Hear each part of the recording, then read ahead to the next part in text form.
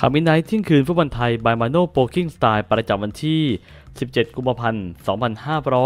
2565 โดยชายผู้ว่าครั่งฟุตบอลไทยครับ เรามาดูข่าวฟุตบอลไทยในช่วงของเที่ยงคืนวันนี้ กันดีกว่าครับว่าจะมีข่าวอะไรน่าสนใจกันบ้างฟุตบอลไทย ช่วงเที่ยงคืนวันนี้ สื่อเวียดนามรายงานข่าวนะว่าปาร์คฮังซอคุมทีมชาติไทยเจอปัญหาใหญ่อย่างแน่นอน โดยการที่ทางสื่อยักษ์ใหญ่ของเวียดนามเราดองรายงานข่าวนะว่าโค้ชปาร์คฮังซอ รับงานคุมทีมชาติไทยเจอปัญหาใหญ่อย่างแน่นอน เมื่อทางสื่อเวียดนามรายงานข่าวว่าโค้ชปาร์คฮังซอเฮดโค้ชในวัย 65 ปี วางมือจากการทำหน้าที่หัวหน้าโค้ชทีมชาติเวียดนาม หลังจากสร้างความสำเร็จให้กับทางทีมชาติเวียดนาม ตลอด 5 ปีที่ผ่านมา และตอนนี้โค้ชปาร์คฮังซอกำลังว่างงานอยู่ทางสื่อเวียดนามมองว่าหากโค้ชปาร์คฮังซอรับงานคุมทีมชาติไทย จะทำให้เขาต้องพบกับปัญหาใหญ่ คือเรื่องของการเตรียมทีม เขาจะทำอย่างเช่นที่เคยทำที่เวียดนามไม่ได้ในครั้งนี้ โดยโค้ชปักจะไม่สามารถบอกให้ไทยลีกหยุดการแข่งขัน 4 เดือนเต็ม เหมือนที่เคยทำกับวีลีกที่เวียดนามได้ หากปักคังซอคุมทีมชาติไทย จะได้เวลาในการเตรียมทีม อาจจะเวลาประมาณเพียงแค่หนึ่งถึง 2 สัปดาห์เท่านั้น ซึ่งนั่นจะกลายเป็นปัญหาใหญ่สำหรับการเตรียมทีมของปักคังซอทันที อย่างไรก็ตามสื่อเวียดนามระบุเลยนะว่าโค้ชปาร์คนอกจากจะเป็นตัวเต็งในการคุมทีมชาติไทยแล้ว เขายังเป็นกุนซือตัวเต็งคุมทีมชาติจีน และก็อินโดนีเซียอีกด้วยครับนะนะผมเป็นนะว่างานนี้ ต้องรอดูกันต่อไปก็แล้วกันนะฮะ อนาคตของโค้ชปาร์คฮังซอ จะมาจบกับทางทีมชาติไทยจริงๆหรือเนี่ยก็ฝากติดแฮชแท็กเชียร์ไทยเชียร์ไม่เลิกเชียร์กันต่อไปครับ เรามาดูประเด็นข่าวต่อมากันครับ สะเทือนทัพช้างศึก ผลจับแบ่งสายทีมชาติไทยอย่างเป็นทางการ โดยการนี้แฟนบอลไทยเตรียมจะชม super big match ทัพช้างศึกทีมชาติไทย ถูกจับอยู่ในสายร่วมกับเบอร์ 2 เอเชียดวลทีมชาติญี่ปุ่น ส่วนเบอร์ 1 เอเชียอย่างทางอิหร่าน ถูกจับอยู่ในกลุ่ม B โดยสาย A ก็จะมีไทย ญี่ปุ่น โมซัมบิก สาย B ก็จะเป็นอิหร่าน อียิปต์ซาอุดิอาระเบีย ซึ่งผลการจับสลากแบ่งสาย NSDF ฟุตซอลแชมเปี้ยนชิพ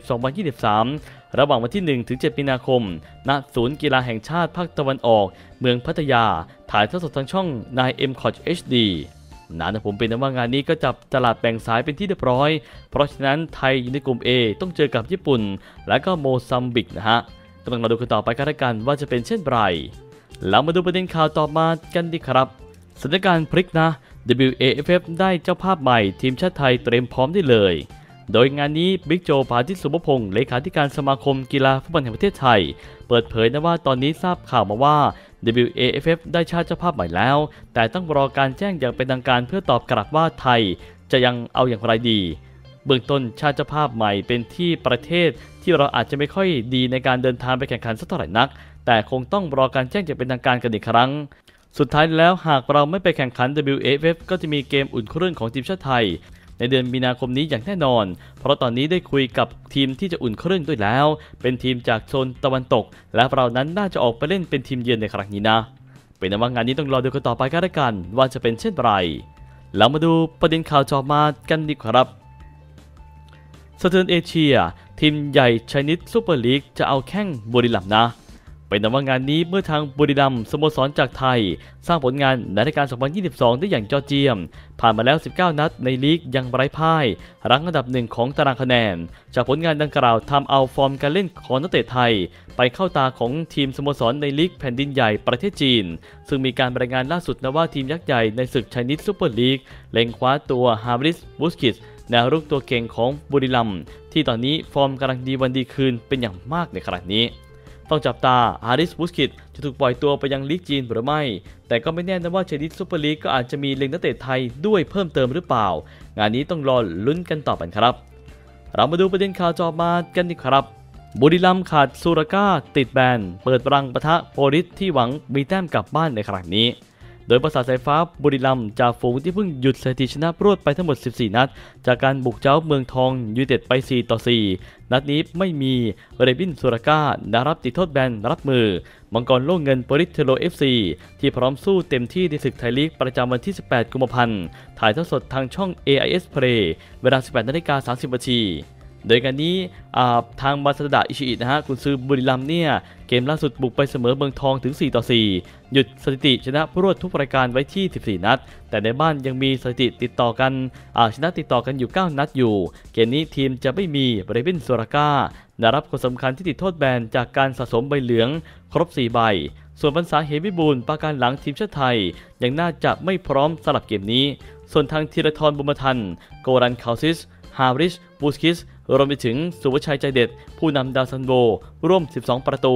ยังพร้อมลงสนามส่วนทางฝั่งฝั่งทางอาโปริเทโล FC นั้น งานนี้รังสรรค์วิวัฒชัยโชคกุซือโปริเทโล FC เกมล่าสุดเปิดบ้านชนะราชบุรี FC หนึ่งต่อศูนย์เกมนี้ไม่มีผู้เล่นติดโทษแบน ส่วนแม็กซ์ปีเตอร์ ครีวัก แนวรับสำรองจะลงไม่ได้เนื่องจากติดสัญญายืมตัว จากบุรีรัมย์ ทีมมีปัญหาในเกมเยือน ไม่ชนะคู่แข่งใน 5 เกมเยือนหลังสุดในทุกรายการ เกมนี้พร้อมส่งตัวหลักอย่างทางสินทวีชัย หทัยรัตนกุล เฉลิมศักดิ์ อักขี ไอแซค ฮอนนี่ เลสลี่ อาโบลห์ และก็อิมแจฮยอกศูนย์หน้าดีกรี เยาวชนทีมชาติเกาหลีใต้ ยังพร้อมลงสนามในเกมนี้โดยผลงานในการพบกันของทั้งสองทีมในศึกไทยลีกที่บ้านของบุรีรัมย์ปี 2010 บุรีรัมย์นั้นเสมอโปริเทโล FC ไป1ต่อ1 ปี 2011 บุรีรัมย์นั้นชนะโปริเทโล FC ไป 1 ต่อ 0 ปี 2012 บุรีรัมย์แพ้โปลิศ เทโรไป 0 ต่อ 1 ปี